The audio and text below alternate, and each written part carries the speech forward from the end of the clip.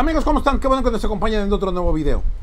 Se cierra la pretemporada oficialmente este día martes con el rebaño sagrado. Noticias chivas para todos ustedes, como siempre, tenemos la mejor información en relación al Club Deportivo Guadalajara. Noticias chivas aquí en Fútbol con Cerebro, como en todos y cada uno de nuestros videos aquí en este canal, Fútbol con Cerebro. Chivas es nuestra prioridad y todo lo que tenga que ver con el fútbol mexicano de la Liga MX se los tenemos en Fútbol con Cerebro en corto, donde les tenemos información de la Liga MX, eh, rumores y fichajes de todo el circuito del fútbol mexicano.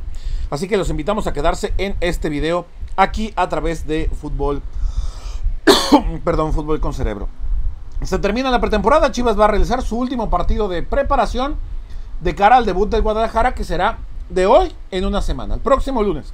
Ahí andaremos en León para traerles lo mejor del debut del rebaño sagrado que arranca enfrentándose a los Esmeraldas. Pero antes hay que cumplir con este partido amistoso.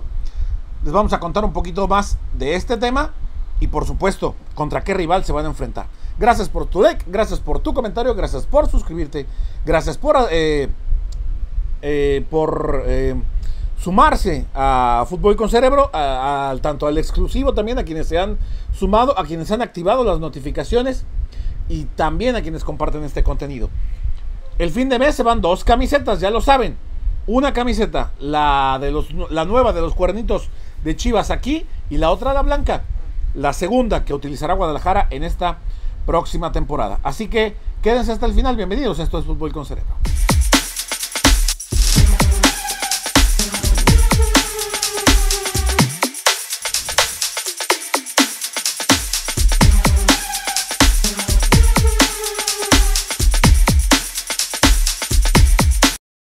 Toca turno, amigos, de hablar del último partido amistoso que sostendrá Chivas en esta etapa de preparación. No olvidemos que va a ser un torneo muy, muy atípico, muy inconsistente, muy anormal, porque primero se juegan.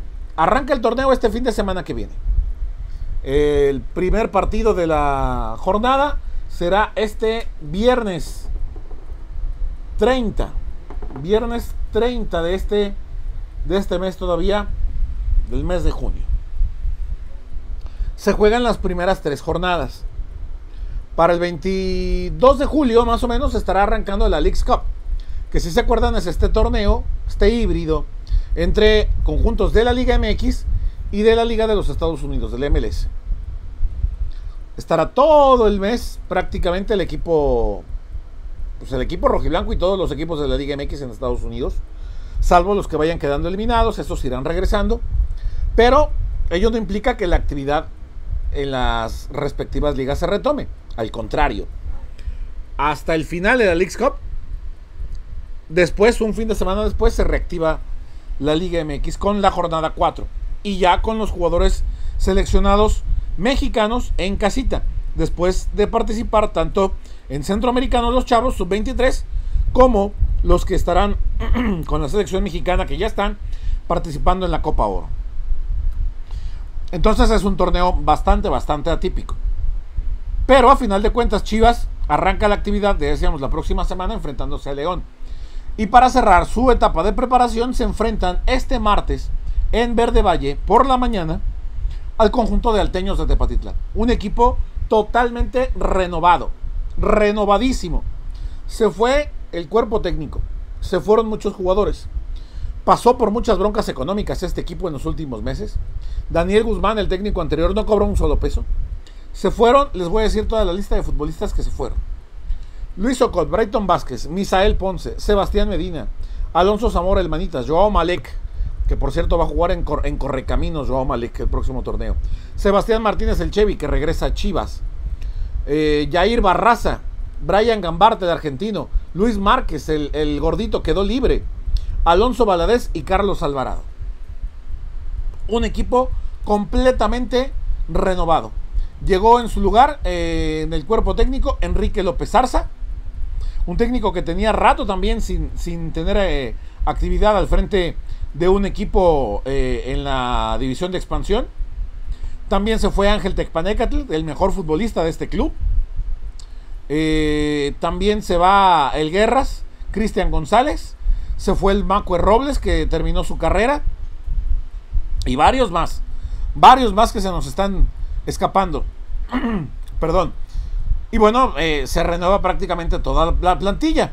Les platico rápidamente. Jugadores como Ismael Robles, Pablo López, Alejandro Rivero, Giovanni León, Omar Mireles, que jugó en Tapatío hace poco tiempo, Brandon Sartiaguín, algunos de las altas que muestra el conjunto de Tepatitlán de cara al próximo torneo. Ese va a ser el rival de Chivas. Ese va a ser el rival de Guadalajara para este día martes. No olvidemos que Chivas ya se enfrentó a este equipo de Tepa en el Inter entre el término del torneo regular del pasado, del que acaba de terminar, y la liguilla. La semana de reclasificación, Chivas se enfrentó a Tepa, le ganó 7 goles por 0. Así que, pues, última prueba para el rebaño en este, en este arranque, ya el arranque del torneo, Apertura 2023, que está a unos días nada más. Y por cierto, se confirmó también el día de hoy que Chivas va a tener un partido amistoso allá en los Estados Unidos para todos nuestros hermanos del sur de California, o bueno, ni tan al sur, en Los Ángeles, ¿no? En el Rose Bowl, el próximo 15 de octubre. 15 de octubre en el Rose Bowl de Pasadena, California. El Rose Bowl que tiene una capacidad enorme y se va a llenar seguramente. Se va a atascar ese día de paisanos. Chivas enfrentándose a las Águilas del la América. Este partido fue presentado el día de hoy. Estuvieron Santiago Baños por parte de la gente del América. Estuvo también eh, Fernando Hierro hablando sobre esta gran oportunidad de ir a los Estados Unidos, de enfrentarse con este equipo, con las Águilas, de tener un, un buen sinodal, de hacer un buen partido, de dar una buena exhibición para los paisanos allá en los Estados Unidos. Siempre que se organizan partidos de este tipo, se llenan los estadios, pero hasta, hasta las lámparas. Y creo que no será la excepción del 15 de octubre, que será una fecha FIFA. Se va a aprovechar en esos, en esos momentos el, el corte que tenga el torneo para poder llevar a estos dos equipos a los Estados Unidos. Ojalá que ofrezcan un buen espectáculo, ojalá que con la mayoría de los jugadores titulares posibles. Porque también se entiende que hay llamados a selección. En el caso de América seguramente tendrá bajas por jugadores de Sudamérica y desde luego también del fútbol mexicano. Y ni qué decir de Guadalajara, ¿no? Así que, pues ya se está cocinando este partido amistoso, amigos de allá de, los Estados Unidos, de California, de Las Vegas, de eh, toda la región eh, de la frontera. Arizona, por supuesto. Decíamos en Nevada, decíamos en Oregon. Eh, y a veces hasta de mucho más lejos andan yendo estos partidos desde Texas, desde Georgia, desde Tennessee, desde eh, el mismo Utah, a veces hasta de Chicago andan yendo estos partidos, imagínense. Pues bueno, veremos, esperemos que sea un buen espectáculo antes que otra cosa y esperemos también, por supuesto, que Chivas le mueva el tema de refuerzos. El tema de refuerzos urge refuerzos Chivas. Así que seguiremos esperando que surjan más información para todos ustedes, se las tendremos aquí en Fútbol con Cerebro. Pásenla muy chido, gracias por acompañarnos, como siempre en este y en todos nuestros contenidos. Nos vemos, gracias por acompañarnos, hasta la próxima.